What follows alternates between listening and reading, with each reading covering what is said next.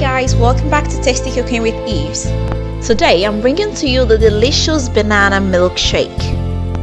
Now this is so so easy and fast to make. It usually comes in handy in a very hot afternoon.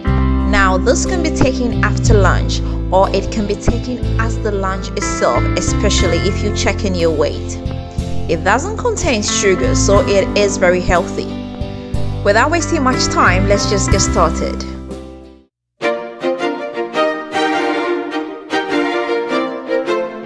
So to start, you're obviously gonna need some banana and I'm gonna use two of these.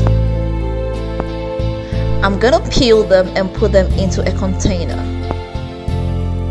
I'm gonna come in with my hand blender and mash everything up. Make sure to mash it very well so that it doesn't contain any lumps. After it's been very well mashed and it is very smooth and silky, come in with some milk. Do this a little at a time so you get the right consistency you want. Mind you, this is not a smoothie, it is a milkshake, so we have to add more milk. This is gonna make it lighter and easier to drink. Now afterwards, I'm just gonna add a pinch of vanilla essence. Vanilla combined with banana tastes so so good. You shouldn't add too much so as not to overshadow the smell or the taste of the banana. Afterwards, I'm gonna give it a final mix with a spoon.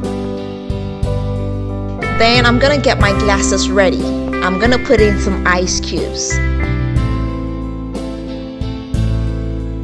Then I'm gonna fill it with the milkshake. Now I'm gonna decorate it with some strawberries.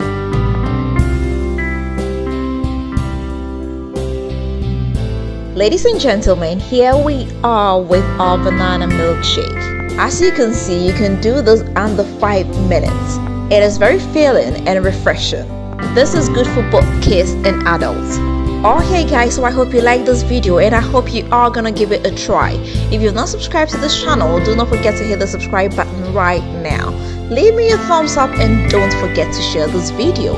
Until next time, I am gonna see you again with another nice and interesting one. Bye bye.